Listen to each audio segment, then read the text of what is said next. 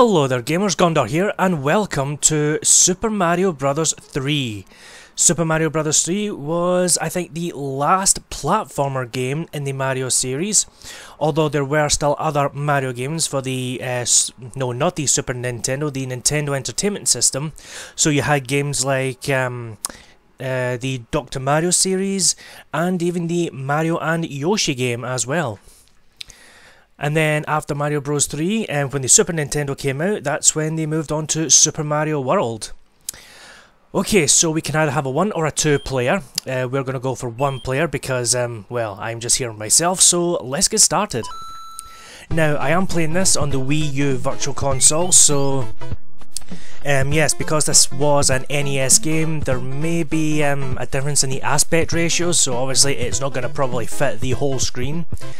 Um, but obviously there's nothing I can do about that because obviously NES games were probably more better on very, very, very old TVs, like um, I don't know what kind of TVs that they, they used to have back in the 80s or whatever.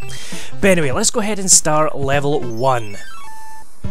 Now, let me just check one thing. Uh, yep, okay, good, we are fine. Because, um, yeah, uh, when I started this, I done a little test, and um, the uh, controls on the gamepad were a bit funky. Um, the B button was, was actually run in, instead of jump, which was uh, kind of weird. But don't worry, that is all changed. uh, to change the uh, con controller settings, all you need to do is just touch the gamepad, and you can um, uh, change the controller settings to your liking. So, what's new about Mario Bros 3 that was different from the other ones? Well, as you may have noticed, we have a map system, um, which shows you all of the levels which are in the world, um, once you finish a level, you won't be able to go back into it. Unlike um, in, uh, say, Super Mario World or the new Super Mario Bros. games, where you can actually go back to old worlds that you've been into before. And we have our first power up, which is this um, Super Leaf, which makes Mario grow a raccoon tail, which lets him fly. Uh, to fly, all, all you need to do is just uh, keep running until that P at the bottom of the screen there uh, flashes, and then just press the jump button, and away you go. And then all you have to do is just keep uh, pressing the jump button until the P runs out. Um, other new things is the uh, goal system. Uh, as you can see, um, the goal is represented by uh, rotating cards. Uh, all you need to do is just run and touch one and you will get that card. There are three different types. You have a mushroom, a flower and a star. If you get three mushrooms you will gain uh, two extra lives. If you get three flowers you'll gain three extra lives. And gain three stars will give you five extra lives. So yeah, you really, really, really want to go for the stars. And there are quite a few secrets here, so for instance here is one, you just go into this little pipe and you can get some coins. Not that that's really counted as a secret, it's more like, oh here's some coins here, let's go and grab them. Anyway, here's something new, P-switches. We've already seen one back in the first uh, level. Uh, P-switches will turn blocks into coins and coins into blocks. And they may do other things as well. God damn it, I was holding down there, so why the hell was, was Mario still uh, running down uh, that, that little slope? I have no idea. Uh, but yeah, that is another new feature as well, is the slopes. Um, if you press down, you can uh, make Mario or Luigi, depending on who you're playing as, actually slide down and take out um, a whole bunch of enemies along the way.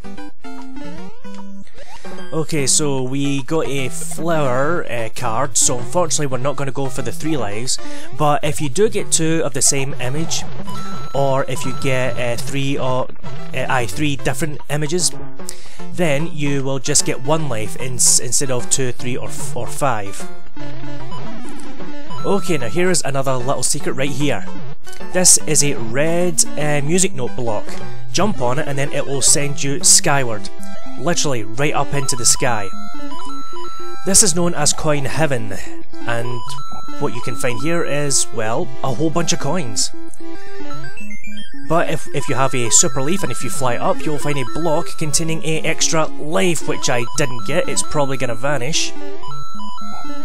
Yes it did, for some reason the pipe here absorbed it. but I'm pretty sure in the Super Nintendo version, um, you can uh, actually get the the life again because I'm pretty sure it'll come back. Well, there we go. That is it. Uh, we have our first three cards and we only get one life. But it's kind of nice that you, that you actually do get something from uh, getting different images. Okay, now here is something new. Here is a Toad's house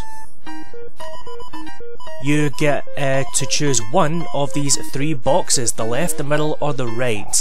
Now because I'm playing this on the Wii U Virtual Console, I could make a, a quick save state and I could open up each one to see what's inside it, but I'm not going to. Instead, I'm going to go for the left one. And it gives us a flower. So if you're playing this on the Wii U Virtual Console, you can actually uh, make your save and then open up each one and see what items are in each box and see which one that you want to get. Okay, so here's level 4, here's our first auto-scrolling level. Everyone loves auto-scrollers. Oh, and there goes the life. Oh well. It's a shame. But I already have 7 lives, which is plenty. Gotta watch out for these uh, moving Oh god damn it! Well, that was unfortunate. There we go, we lost our first life. Oh well, let's get back in there. However, if you wanted to, you could actually forego doing uh, level 4 and go straight on to the next world because level 4 you don't really need to do. Or if you want to do, you could forego doing level 3 but you will need, need to do either level 1 or level 2 if you want the Toad's House.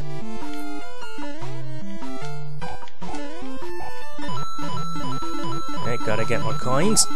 Come on, there we go. Can I? No, no, no! Oh, wow, that was lucky. Yeah, because I'm, I'm pretty sure one of those other blocks there contained a, a power-up. Which is a shame. Oh god. Well, never mind. In fact, is there anything in there? No, I'm pretty sure it was the, the block above that's got coins in it. Although I still wonder why the in Super Mario... Really? Just... Really? Uh, I was right close to the end as well. Ugh. Okay guys, here I am. I managed to make it onto the pipe. Ay, ay, ay, that was really embarrassing. Just getting to the end and then just dropping off. Really? Ah well, never mind. Let's quickly get to the end before anything bad happens again. Well, we got ourselves a flower this time. Okay, here is something. This is a little uh, picture lineup game line up the pictures and get a prize. We only get one try. So this is kind of similar to um, the cards at the at the goals, where if you manage to line up a mushroom, you'll get two lives, line up a flower, you'll get three lives, and line up a star, you'll get five lives. So let's see what we can do. Will we get a proper picture, or will we get some Frankenstein monster? Okay, so far so good. Let's see if we can get it. Oh yeah, look at that. Awesome. And look at the pictures on the uh, side, I managed to get those ones matched up as well. Very, very awesome. Okay, here's our first fortress. Which is something new in the Mario series because I don't think, in fact, yeah, you, you never got fortresses um, in the Mario series, although you, you got the castles at the end of uh, every fourth uh, level in the first Super Mario Bros. But we never actually had any fortresses. Okay. Okay, now we have spikes coming down from the ceiling. So it's probably a, a no brainer Whoa! Yeah, it's probably a no-brainer of what you're supposed to do here. Just avoid the spikes. And yeah, you don't need, actually need to duck underneath that one, you can just stand exactly where you are. Okay, here's Boom Boom. Boom Boom is always going to be the guardian of these fortresses. All you need to do is just stomp on them three times and you win. Easy. Or if you have a fire flower, you can chuck fireballs at him and you can beat him that way. Okay, here's something new. This is a card match game. Flip over any two cards and see if they match. You can only miss twice. Okay, so here we have 3, 6, 9, 12, 15, 18 cards. Okay, so basically all we need to do is just flip a card over and see what it's got. So that one's got a 1 up, so we need to try and find the card that's got a 1 up in it. That one doesn't, that one's got a mushroom, but I do know that these two corners are always going to be stars. I don't know why, but that's just something that I've always remembered. Okay, let's go for this one. 10 coins. Mm, this one? No, it's it's coins, but it's 20 coins. So yeah, the the game won't let you off off easy by um, matching a 10 and a 20 coin. Okay, here is a Hammer Bro on the map. Uh, you will find these guys or some similar enemies on every single map in in the game. All you, uh, they are automatically um, started, so whenever you touch them, you'll be put straight into the fight. And all you need to do is beat them, and you will get an item. Okay, now we're underground. But I'm going to take a quick shortcut if I can get to it and that is right here. Here is another red music note block. Now, I don't know if there's like one red music note block hidden in, in every single level, or if there's if they're only hidden in very specific levels. Right, so we're gonna fly up because in Coin Heaven, naturally you will get an extra. Okay guys, for some strange reason, this bit is actually being post-commentated because the audio for this little bit here um, has cut off for some reason.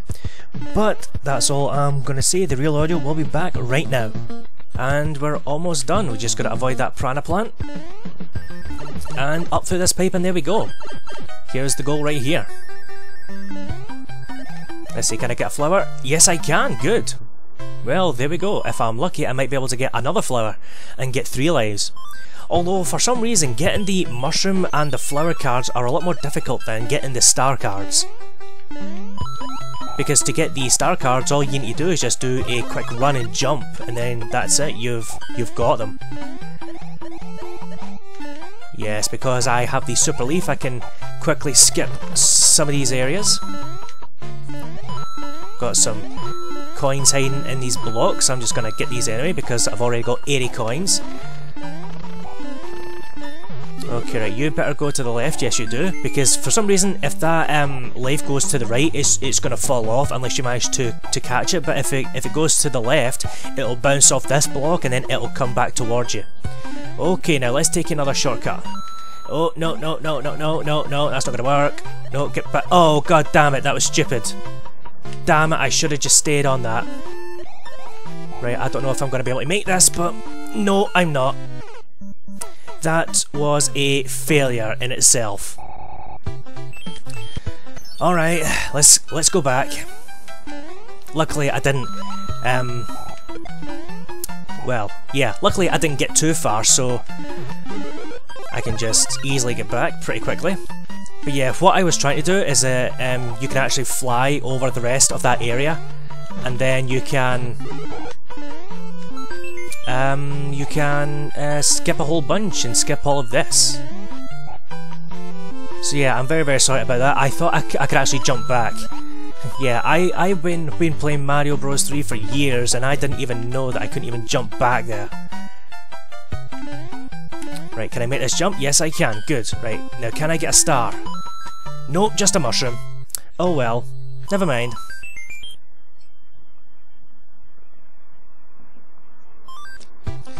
Okay, here's a Toad's house, the second and last Toad's house in World 1.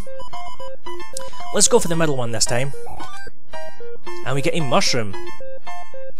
So yeah, remember we got two stars, we got one from the Hammer Bro and one from the card match game. Now let's do the castle. Oh, it's terrible. The king has been transformed. Please find the magic wand so we can change him back. So yeah, that is the plot of the uh, castles is that the king has been transformed into an animal and we have to get the wand to transform them back. And we're on an airship. Um, all airships are going to be auto scroll, so there's nothing much we can do about that. And we do have to watch it for cannons and bullet bills. Because they are out to get us and stop us from completing our mission. Okay, good. That'll be very, very handy. That uh, super mushroom. Now I just need to avoid these cannons because those rotating ones can be pretty much of a pain. But yeah, those rotating cannons, they only fire two cannons. They don't uh, fire cannons out of all four each time. But when you get to the end, you go down the pipe and you will fight your first Koopaling. This is when Koopalings were first introduced to the Mario Bros series. Um, I don't know who that one is, I think it's Lemmy. But all you need to do is jump on their heads three times and there you go, they will fly off in, into the sky, drop the wand and you have won. And then the airship suddenly vanishes and because of the wand's magic powers we slowly float back down and right into the castle. And there we go. Oh, thank heavens, I'm back to my old self again. Thank you so much. Here is a letter from the princess. So yeah, whenever we um, get the wand back, we will get a letter from Princess Toadstool. She will give us a item and a little hint for uh, our next journey. Uh, this hint is that if we see any ghosts, they will give chase if we turn our backs on them. So this is where they gave the introduction of Boos and the item we get is a P-Wing. What does the P-Wing do? Well, it's just kind of like the Raccoon Leaf, except it gives us infinite flight for one level, or until we get hit. But that is going to be it for Super Mario Bros. Uh, 3 guys. Uh, thank you guys so very much for watching. If you've liked this video, then give it a thumbs up. If this is your first time here, then why not consider subscribing and become part of the Gondor team? And together, let's make this channel big. Let's make it huge. Let's make it a success. So, cheerio, and I'll see you in the next video.